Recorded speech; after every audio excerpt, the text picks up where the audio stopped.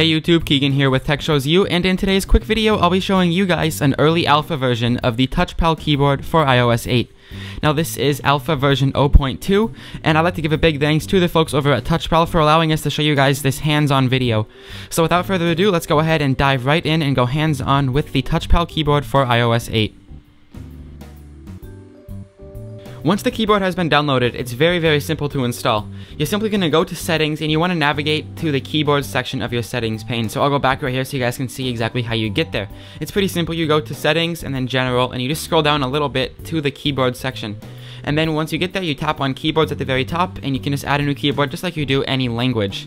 And as you guys can see right here, we have the third party options right here. So we can touch the TouchPal keyboard and add that right to the device. Once that has been added, it will work anywhere that the keyboard works. You simply tap the globe icon to get to it. As you guys can see right here, it's already open and we can see the TouchPal text here on the spacebar.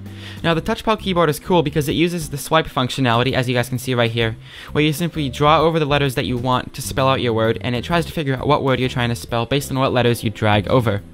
Now as you guys can see right here, you simply just drag between the letters and you can pick out a word. So here I'm typing out, this is the TouchPal keyboard.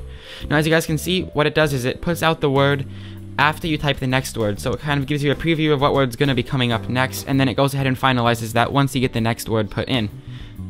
Go ahead and move on into the Notes app so we can get a more thorough testing of how the keyboard actually works.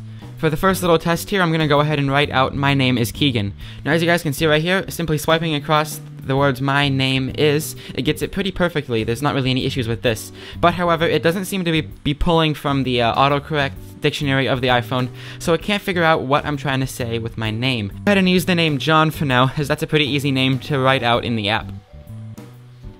So here, as you guys can see, I'm able to write out all of these words with really no issues, because these are all pretty common words. It says, I am writing with the touch TouchPal keyboard. As you guys can see right there, it got pretty much all of that. And then I went on to say, on my iPod Touch running iOS 8. So as you guys can see, it's a little interesting how this works because it doesn't put up the word as you type it it puts up the next word that you type, and then it puts up the previous one when you type up the next one. As you guys can see right here, this is the default iOS 8 keyboard with the predictive text, and you can just type normally, and it still has the predictive text across the top, you just don't get that swipe functionality.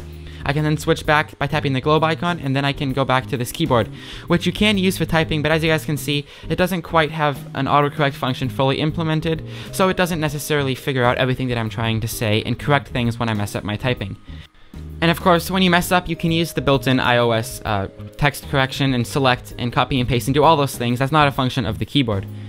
Now, as I said, it does still have the predictive typing, so on the top you can pick from the words, but as you guys can see, it just I'm just going with the middle words here, so I'm picking whichever one's in the middle, and it kind of goes through like a loop of the same words over and over again. So this feature isn't really fully implemented yet, as you guys can see, but that's definitely going to be awesome. If you've ever used an Android device with a keyboard like Swype or Touch TouchPal or something like that, you know this feature and you're very used to it. Now, as you guys can, let's watch me type right here. As you guys can see, it doesn't show what you're typing while you type it. It kind of shows the predictive text down at the bottom. But let's say that you mess up a word, which I'm going to go ahead and do here in just a moment. But for now, we can just see kind of how the functionality works. It just sort of doesn't put up the word right away as you type it, which is very difficult to necessarily write out a word. And I would assume that this is going to end up being a feature that's added. It's the Foley typing. I don't know if this is how it's supposed to be or if this is just an issue with it for the moment. Because like I said, this is a very, very alpha version. And of course, I don't want to be uh, judging the app based on this because I'm expecting to be very, very buggy. I'm running an iOS 8 beta as well as an alpha version of the keyboard. So obviously this is in no way judging the stability or the usability of it. This is just showing you guys kind of the main features and what we can expect in the weeks and months to come as it gets better and better as we get closer to the iOS 8 release. Now for words that it can't automatically predict, as you can see while I'm typing it, it shows what I'm typing in the predictive text bar, but then I don't really have a good way to edit it until I confirm the word, and then I can go back and fix it as you can see right there.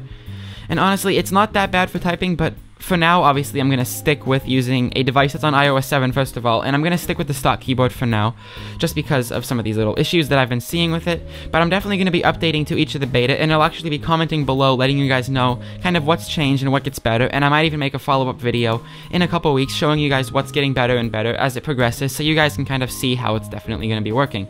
And again, this is not a review of the functionality, so please don't take this as me judging the app. This is just me showing you guys a hands-on of the non-public alpha version, so you guys can kind of see how it's going to be coming along and what you guys can expect. I'm really, really excited about Apple's decision to add third-party keyboards to the iOS devices, and I hope you guys are too. This has been Keegan from Tech Shows You, and I will see you next time.